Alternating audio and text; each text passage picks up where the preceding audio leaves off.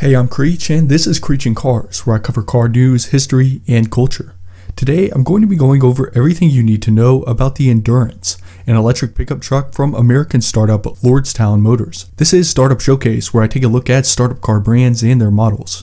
On this episode, I'll take you through the Lordstown Endurance and show you the exterior and interior design, and then I'll go over the performance specs and features. And finally, I'll give my opinion on whether or not I think the Endurance will be produced and be successful. But first, here's a brief introduction to Lordstown Motors.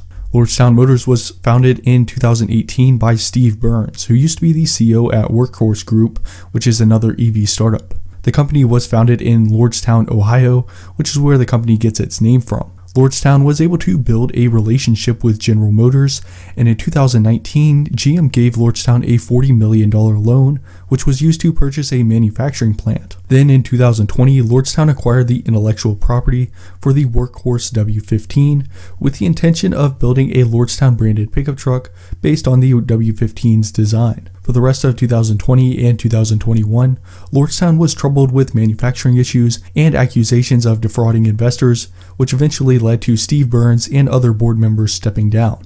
But good news finally came in late 2021 when Foxconn agreed to purchase the manufacturing plant and then be the contract manufacturer for the Endurance pickup truck. Foxconn also invested $50 million into the company. By this time, GM had completely cut ties with Lordstown, but it still had a good partnership with Foxconn.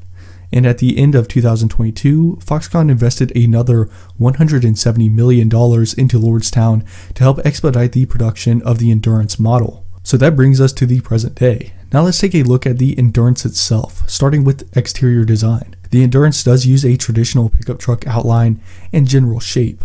For now, it only comes in a crew cab configuration, and because the Endurance is targeted towards commercial buyers and fleets, it only comes in white with black accents. At a closer look, there are some pretty unique aspects of the design.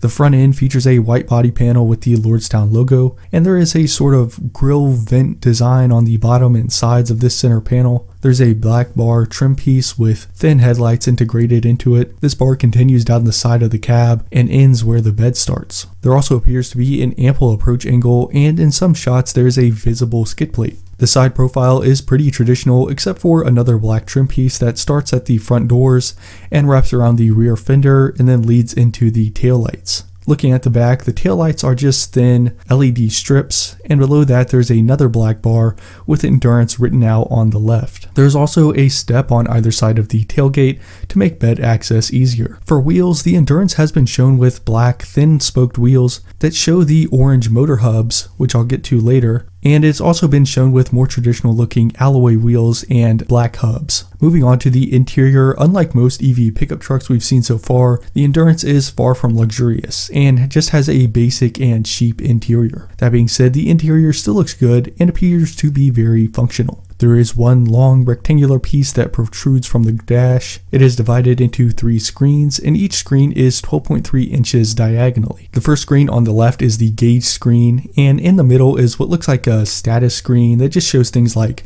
range, battery percentage, tire pressure, things like that. And then the last screen on the right is the infotainment screen. The steering wheel is fairly normal with the logo in the center and a few controls in the typical spot. Below the screen there are some physical buttons, presumably for the climate controls, and on the center console there's a circular gear selector with an electronic parking brake control. There are also a couple of cup holders next to that. And then behind that in the center console is a large storage cubby, and the door panels are pretty basic, but they do offer some additional storage as well. Rear passengers get their own cup holders and some connectivity in the back too. The Endurance is just a hair smaller than the F-150, and the exterior and interior space are pretty comparable. So that should give you an idea of kind of the dimensions of the truck. Now let's get into some performance numbers. Lordstown has claimed the Endurance will produce about 440 horsepower and around 4,400 to 4,900 pound-feet of torque. However, this torque number is likely just a multiplication of the final drive, which means the standard figure is somewhere around 7 to 800 pound-feet. The power comes from the combined output of four hub motors.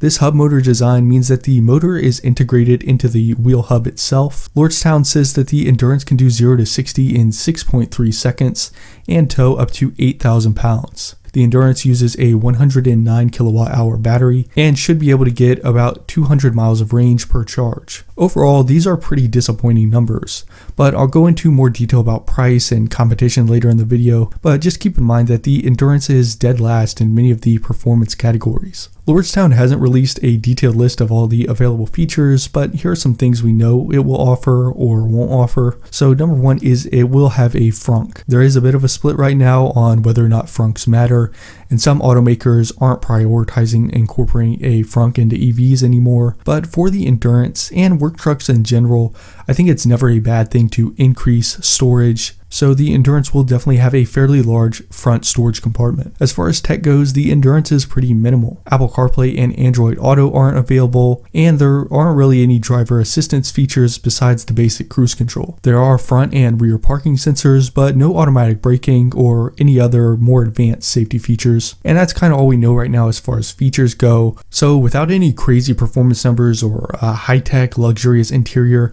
the Lordstown Endurance really feels like a true work truck which makes sense as the new automaker is only targeting fleet sales for now.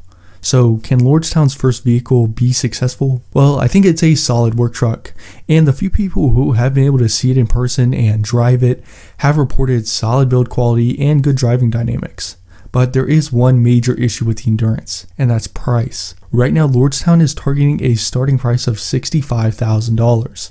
And while that's cheaper than the R1T or Hummer truck, it's $10,000 more than the F-150 Lightning Pro, and GM is targeting the $40,000 mark for its Silverado EV work truck. Grand with GM, I think that costs will rise uh, to the point where $40,000 isn't reasonable by the time that that car is actually ready to go on sale, but still it'd probably be closer to the F-150's uh, low $50,000 range. And with Chevy and Ford already dominating fleet sales, Lordstown really has nothing to compete on other than price. And the Endurance is just a really tough sell when it's so much more expensive than the F-150 Pro. Also, I did mention earlier that Lordstown has had financial and legal struggles throughout its brief history, and this combined with the proposition of the Endurance would initially lead me to write off Lordstown completely. And certainly several months ago, it seemed that the company had absolutely no future. But that has all changed recently with the influx of cash and manufacturing capability that has come as a result of the partnership with Foxconn. With the help of Foxconn, Lordstown was able to get the first endurance models out before the end of 2022. And although the most recent news has been around a recall of these first units for an electrical issue, I don't think this is a huge deal because every automaker issues recalls, and there are always going to be hiccups in the production of a brand new model. While I'm still skeptical of Lordstown's future, I do think the partnership with Foxconn gives Lordstown a chance to lower costs and cut the price of the Endurance in the future, which could make it the go-to fleet vehicle if the brand can last long enough to build a solid reputation. So that's everything you need to know about the Lordstown Endurance. What do you think about the Endurance and Lordstown Motors as a whole? Let me know in the comments below. This is part of a series on the channel called Startup Showcase where I take a look at startup car brands and their models. For more videos like this, check out the Startup Showcase playlist on the channel and subscribe so you don't miss future videos. Thanks for watching and I'll see you next time.